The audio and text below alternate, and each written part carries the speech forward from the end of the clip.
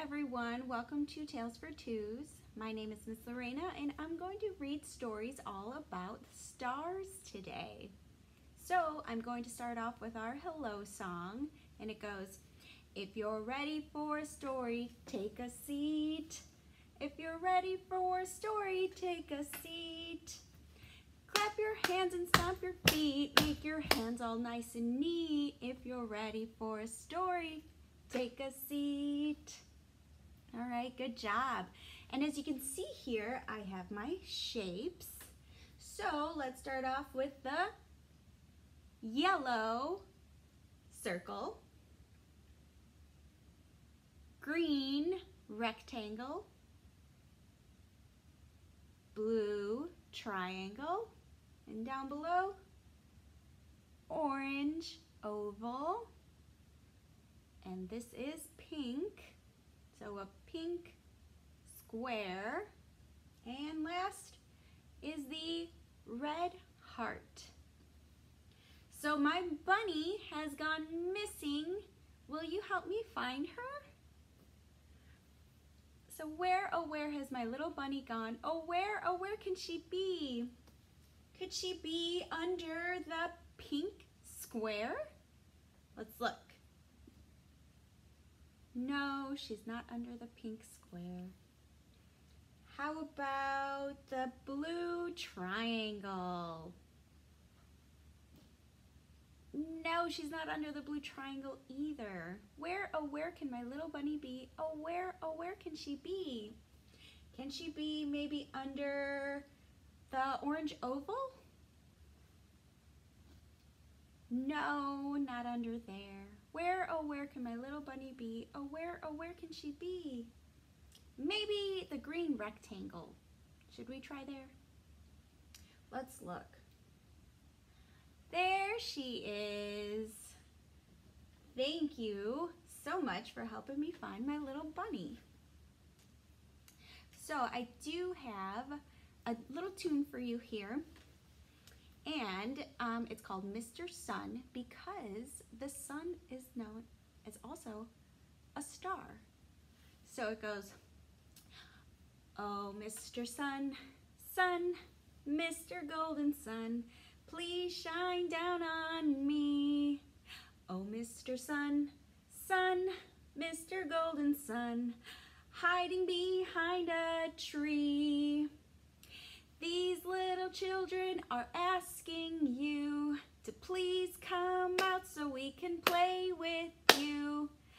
Oh, Mr. Sun, Sun, Mr. Golden Sun, please shine down on me. Good job. All right, so our first book is called Henry's Stars, and this is by David Elliot. So there's Henry. He's looking up at all the stars. Henry sat quietly on his step, staring up at the night sky. It was a beautiful warm evening, and as he looked from star to star, they seemed to form a picture in the darkness. Oh, he squealed, what's that?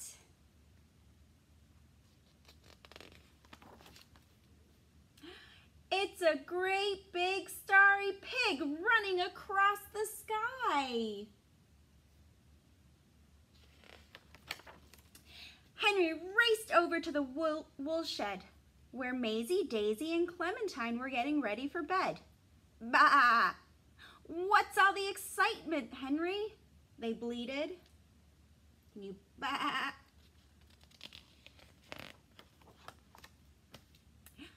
I've found the great pig in the sky, squealed Henry. Where? Show us, said the sheep. There are his ears, and there are his legs, and there is his curly tail, he said, pointing at a group of stars. See? Do you see a pig right here? I don't see a pig. Maisie, Daisy, and Clementine looked where Henry pointed. Ah, yes, I see it, said Daisy. There is a sheep's ear and woolly body. How clever you are, Henry. You have found a great sheep.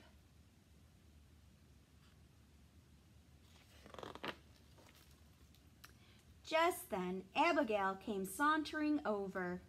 What are you doing? she asked. Shouldn't you all be in bed? Bah! We found the great sheep of the stars, cried Maisie, Daisy, and Clementine triumphantly. Great pig, actually, said Henry. Abigail looked at the stars. She craned her head and whisked her tail. Ah, yes, I see it, she mooed excitedly. What does it look like now? First it was a pig, then sheep, and now there is a cow's horn, said Abigail, waving her hoof at the sky, and a handsome cow's tail. It's definitely a great star cow. And she looks hungry. She thinks she may just eat those stars over there. What kind of noise do cows make? Do they go moo? Just then, Mr. Brown came plodding over the yard. What's all this? he whinnied. Why are you all staring into the sky? We found the great star cow, mooed Abigail. The great sheep of the stars, actually, said Maisie, Daisy, and Clementine, Clementine frowning. Henry just sighed.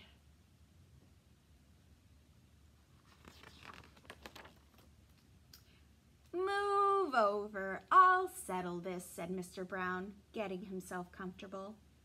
They all waited while Mr. Brown looked carefully at the sky. What does he see? So this is Mr. Brown.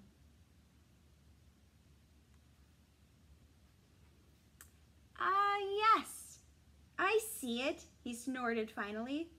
It's a great starry horse. I see his head and his mane and his hooves flying. He's galloping like the wind. How nice of you to find him.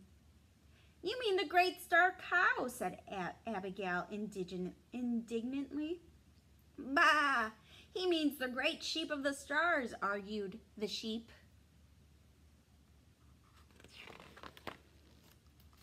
By now, the chickens had joined in.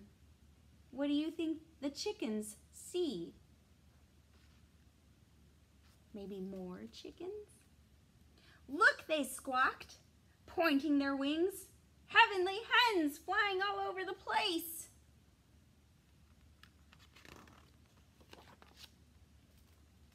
Excuse me, said Henry sternly. There are no great sheep of the stars, or great star cows, or great starry horses, or heavenly hens. There is just my great pig, and that's that.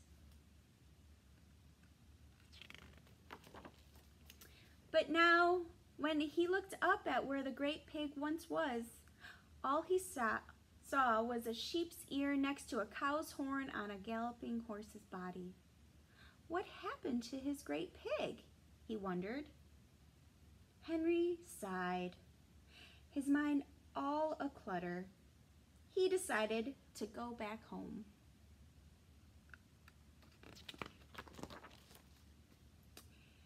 He sat forlornly on his step and stared up at the sky.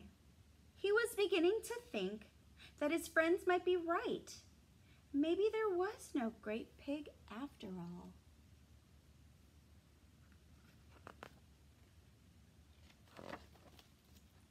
But as he sat there wondering, slowly the squabbles of the farmyard dwindled away into the night, and Henry found himself alone again with his stars. Oh, he squealed, I see it, I see it.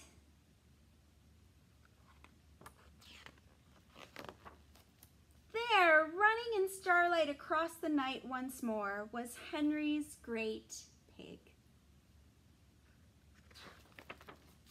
Henry couldn't wait to show the others. Do you think the others are going to see the great pig?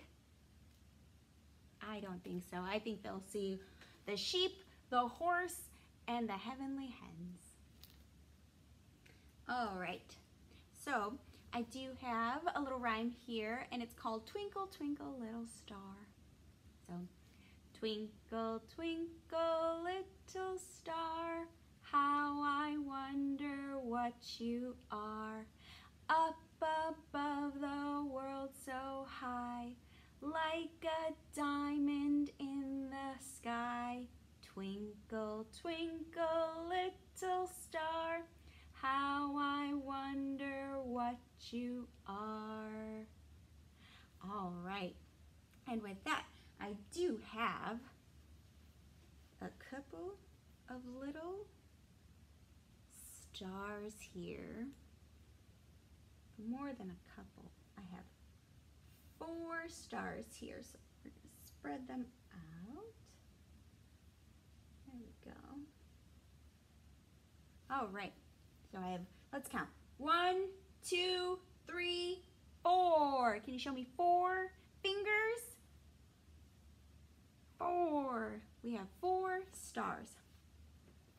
And it goes, four little stars. Can you wink? Can you close one eye? Winking at me. One shot off. And then there were, how many? Let's count. One, two, three. Can you show me with your fingers? Three.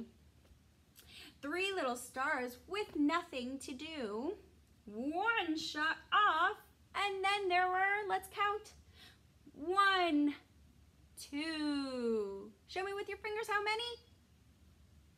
Two. Two little stars afraid of the sun.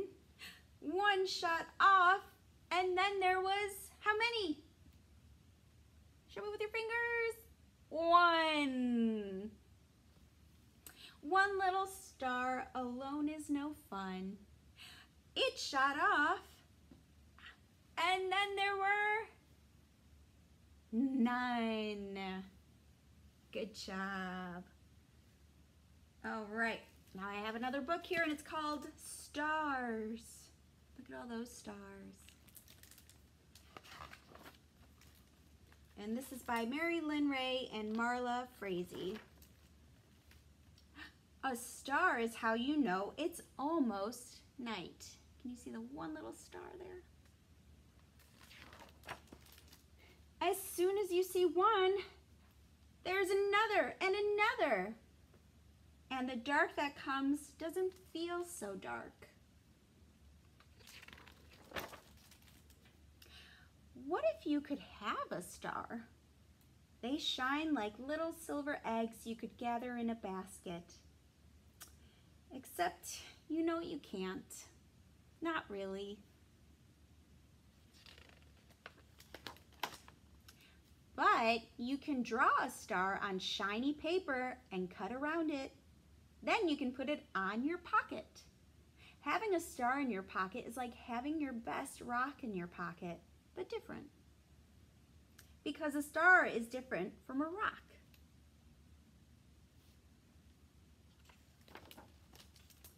Pin a star on your shirt and you can be a sheriff. Put a star on a stick and you've made a wand. If you hold a wand the right way, you might see a wish come true. Not always, only sometimes. You never know about a wish. You can give a star to a friend, but never give away the one you keep in your pocket. You need to know it's there. Some days you feel shiny as a star. If you've done something important, people may call you a star. But some days you don't feel shiny, and that's okay. Those days, it's good to reach for the one in your pocket. If you ever lose your star, you can draw another, or you can find one. There are places. Moss, where you might see fairies, is made of green stars. White stars in June grass become strawberries in July. Yellow stars on pumpkin vines become October pumpkins.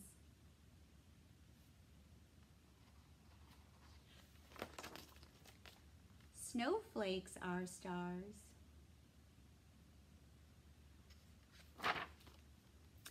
Blow a ball of dandelion and you blew a thousand stars into the sky.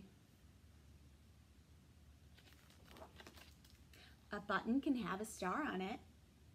And if you always brush your teeth, someone might give you a red or green or blue or gold or silver star. There might be a star on the calendar to mark a special day. But stars that come with night, for those you have to wait for night. You need some dark to see them.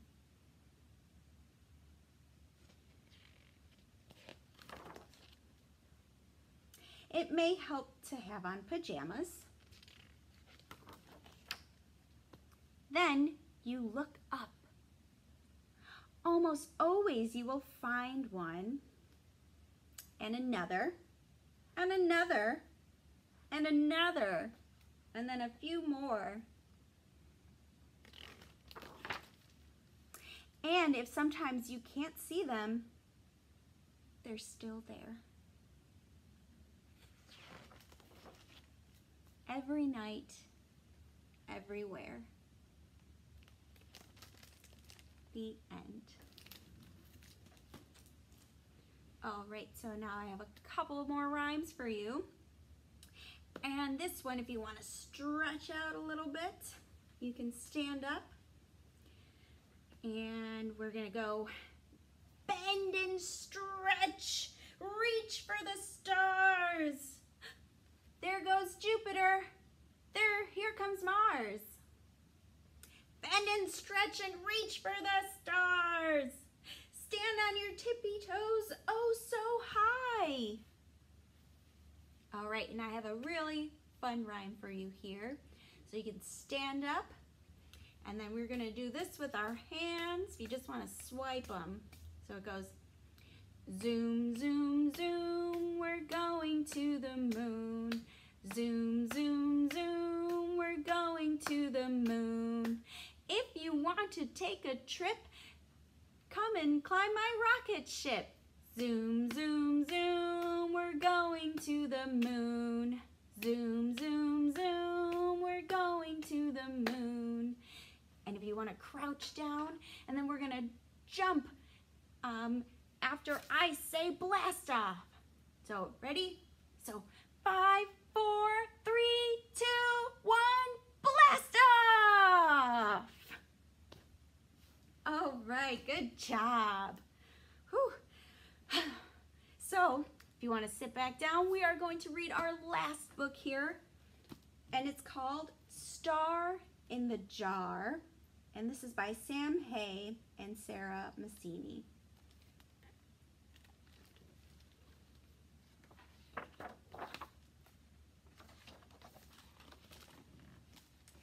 My little brother likes looking for treasure, tickly treasure.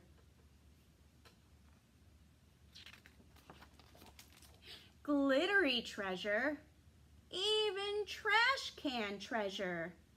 But one day he found something extra special. So special, I thought it must belong to someone else. Can you see what he found there? A star, right?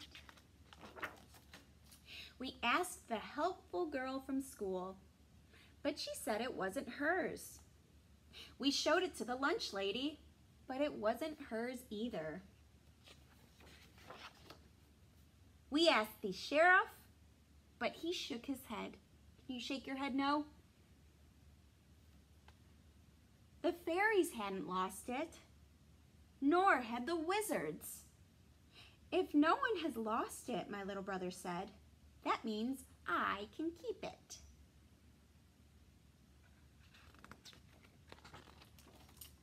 My little brother loved his new treasure. He put it in a jar and carried it everywhere.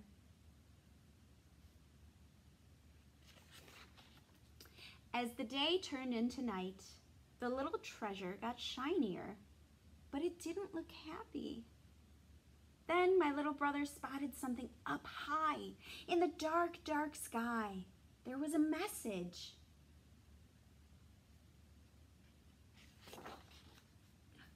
Lost one small star. It's here, my little brother shouted to the sky. But the little star's friends were too far away to hear. We had to help the star get back home.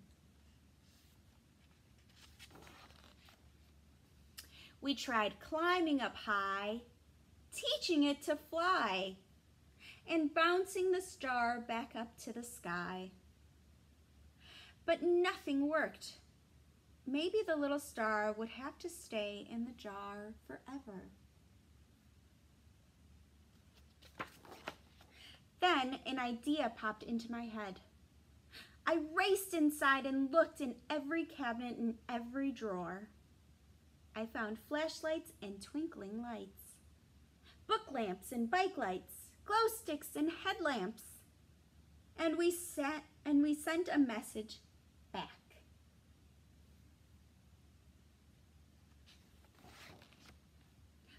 Then the sky began to crackle and fizz and the stars joined together and made a long, swirly, whirly, sparkling silver chain all the way down to our backyard.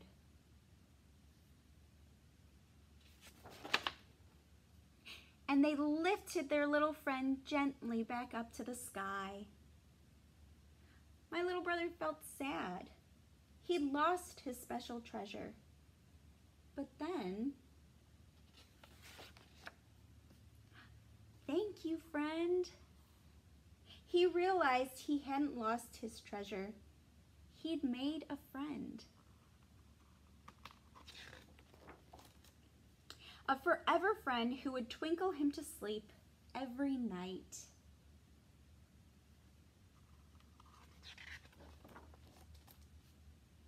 Good night, star.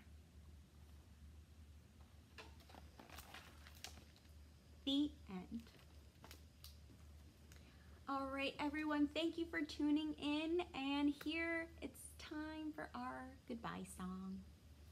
So it goes, tickle the clouds, tickle your toes, turn around and tickle your elbows. Reach down low, reach up high. Story time is over. Now wave goodbye. See everyone.